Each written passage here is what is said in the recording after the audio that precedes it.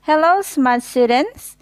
Selamat datang kembali di channel MGMP Bahasa Inggris Kabupaten Bantul. How are you today? How's life? Is everything alright? Apakah kalian memahami pertanyaan saya?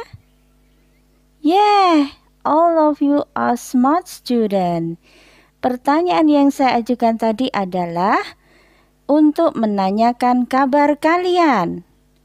Ketiga pertanyaan tadi artinya sama, yaitu bagaimana kabar kalian? Alright, smart students, pada kesempatan kali ini kita akan pelajari tentang greeting, yaitu sapaan, kemudian introducing self, yaitu memperkenalkan diri, serta leave taking, yaitu berpamitan. Let's check it out.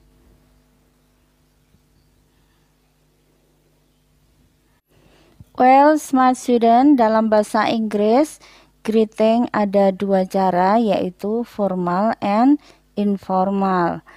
Dalam formal greetings or formal greetings, kita bisa menyapa seseorang dengan ucapan good morning di pagi hari, good afternoon di siang hari, and good evening di malam atau sore hari. Sedangkan bagaimana cara meresponnya? Oke, good morning direspon dengan good morning. Good afternoon direspon dengan good afternoon. Good evening direspon dengan good evening. Good morning sendiri untuk menyapa seseorang pada pukul 12 malam sampai dengan pukul 12 siang. Kemudian good afternoon adalah untuk menyapa seseorang pada pukul 12 siang sampai dengan 18 sore. Sedangkan good evening untuk menyapa seseorang pada pukul 18 sore sampai dengan 24 malam. Kemudian good night tidak digunakan untuk menyapa tetapi digunakan saat mengungkapkan salam perpisahan pada waktu malam atau sebelum tidur dan tidak bertemu lagi sampai keesokan harinya. Jadi, untuk menyatakan ucapan selamat malam, jangan menggunakan good night ya, tetapi good evening. Kalau tadi kita sudah belajar formal greeting, mari sekarang kita lihat informal greeting. Informal greeting adalah sapaan tidak resmi seperti Hai, morning, afternoon, evening. Untuk meresponnya masih sama seperti tadi ya. Hi kita respon dengan hi, morning dengan morning, afternoon dengan afternoon, evening dengan evening. Kemudian untuk menanyakan kabar seperti yang tadi sudah saya ucapkan ya. How's your life? How are things? How's everything? How are you doing? Bisa direspon dengan I'm doing well. Good. Not bad. Fine. I'm doing well. Kemudian untuk menanyakan kabar yang lainnya bisa juga dengan pertanyaan What's up man? What's new bro? Bisa dijawab dengan Nothing much nothing. Baiklah, sekarang kita beralih pada introducing self, yaitu memperkenalkan diri. Dalam memperkenalkan diri, yang pertama kita nyatakan adalah nama kita dengan my name is. Kemudian asal kita atau origin ya dengan kalimat I am from. Dalam origin ini, kita akan menyebutkan asal daerah, kota, atau negara kita.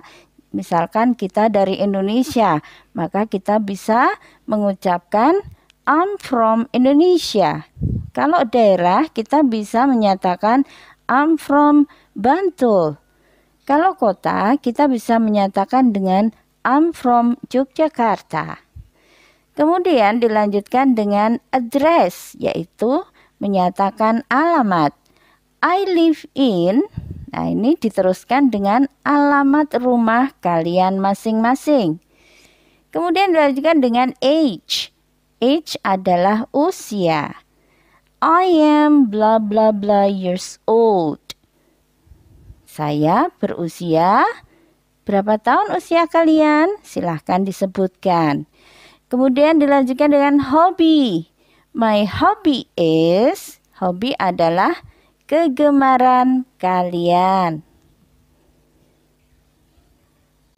Smart students, sebelum kalian memperkenalkan diri pakai bahasa Inggris, kita terlebih dahulu mengenal uh, cara mengucapkan usia dalam bahasa Inggris ya.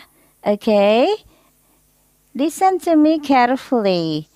12 tahun dinyatakan dengan 12. 13 tahun dinyatakan dengan 13. 14 tahun dinyatakan dengan 14. Sudah paham? Yeah, you are so smart. Kemudian untuk menyatakan hobbies, there are some hobbies here.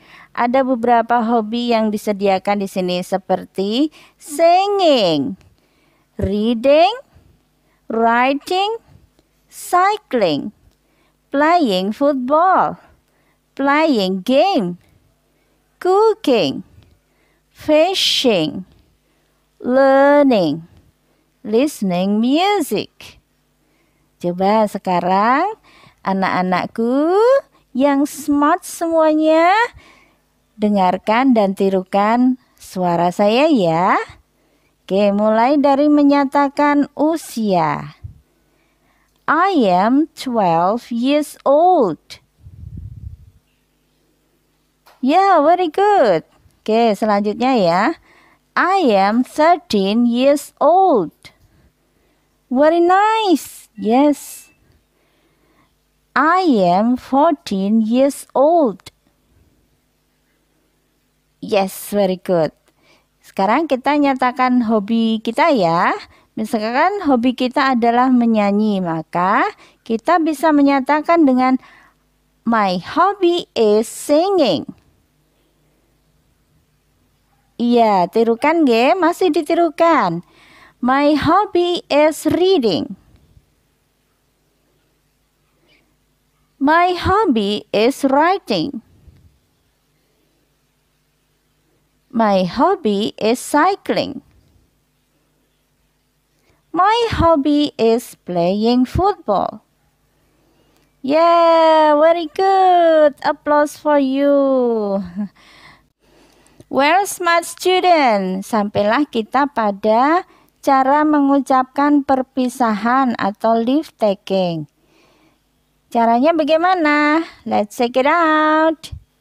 Kita bisa mengucapkan selamat tinggal dalam bahasa Inggris dengan kata goodbye. Bisa direspon dengan goodbye. Jadi sama ya responnya. Kemudian bisa dengan see you later.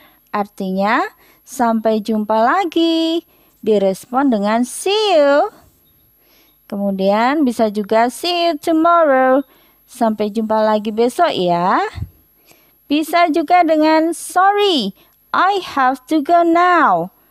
Maaf, aku harus pergi sekarang. Bisa direspon dengan sure. See you later. Tentu saja, sampai jumpa lagi. Kemudian anak-anakku yang pandai, kita juga bisa berjabat tangan dengan orang yang baru saja kita kenal dengan menyebutkan nice to see you. Senang berjumpa denganmu. Nice to see you too. Kemudian kita juga bisa mendoakan teman-teman kita yang baru saja bertemu dan akan berpisah dengan cara take care. Artinya hati-hati di jalan. Good luck. Semoga berhasil. Have a nice dream. Semoga mimpi indah bisa direspon dengan you too. Kamu juga ya. Thank you. Terima kasih.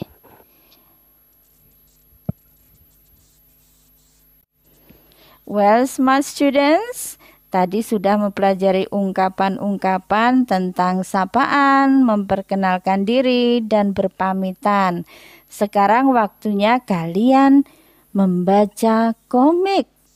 Wow, luar biasa kan? Ya, komiknya tentang apa? Ya masih tentang greeting, introducing self, and leave taking. Silahkan membaca. Let's enjoy it.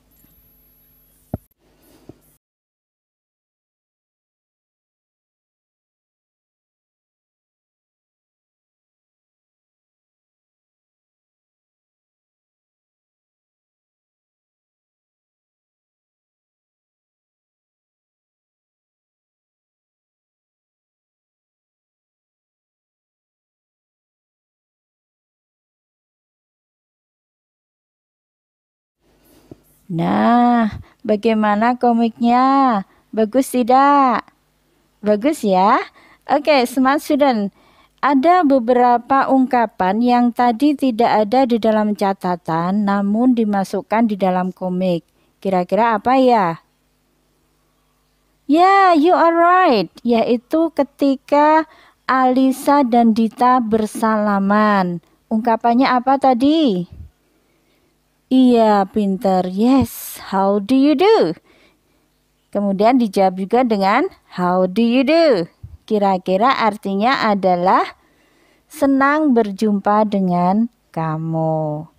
Ya, teman-teman, smart student, di akhir topik ini ada latihan exercise-nya. Coba ditengok ya. Answer the question based on the comic. What does Alisa say in the morning? What is Alisa's complete name? Where is she from? Where does she live? How old is she? What is her hobby? What does she say when she leaves taking? Kalian adalah siswa yang hebat, pasti bisa menjawab berdasarkan komik tadi. Oke, okay, smart student, thanks for your attention. Have a nice day. See you. Bye.